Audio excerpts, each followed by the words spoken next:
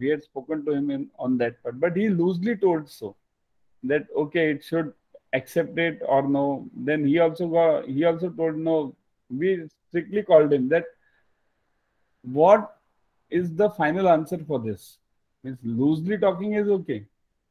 So it, he also told if the documents are not followed, uh, do not follow the rules of those LC, then clearly reject those documents.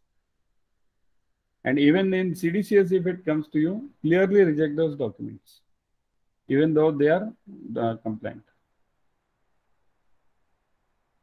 Which of, last question now, which of the following is not a must in bill of exchange? Bill of exchange means draft. Drawee, tenor, currency and amount, drawers, endorsement. Remaining these three things are okay. But what about drawers, endorsement? It's not required at all, right? Anyone